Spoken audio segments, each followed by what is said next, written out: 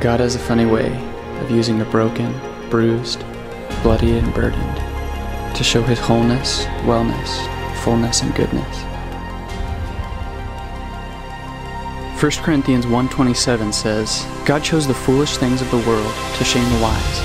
God chose the weak things of the world to shame the strong. And this is that no one may boast in and of themselves.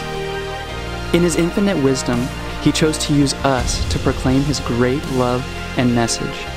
He chose us to proclaim his great gospel, though we deserve nothing. What a joy it is to be used by God.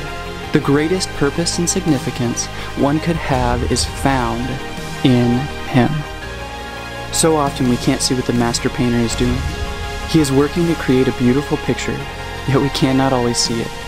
But I rejoice that one day we will be able to see the perfect wonder that God has been working all along.